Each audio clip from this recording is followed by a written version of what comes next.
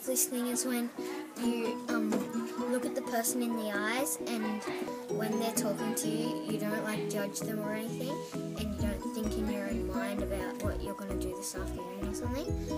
And um, you like just listen to them. Elise. what um what your eyes need to be focused on what has been said and on um you have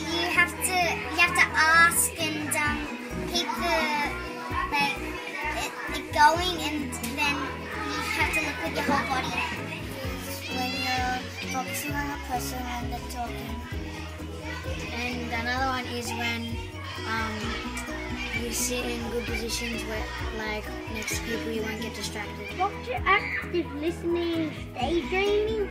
Pretend I'm sitting in a class here and pretend you be the teacher. Daniel? Oh, oh, I wonder what I'm gonna after school. Oh, yes.